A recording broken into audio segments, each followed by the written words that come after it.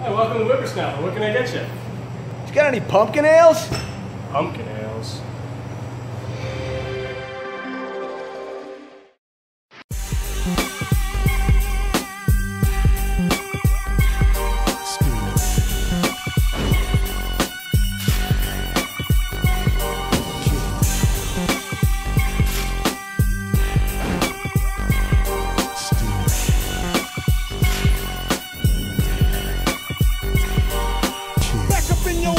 The resurrection. Is the group harder than an erection that shows no affection? They wanna ban us on Capitol Hill, cause it's die.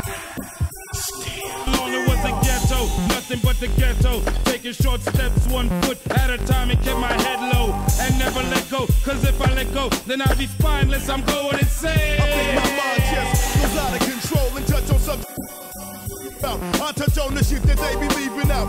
I seen this fuck smoking. I seen that nigga with the nine, die with his eyes.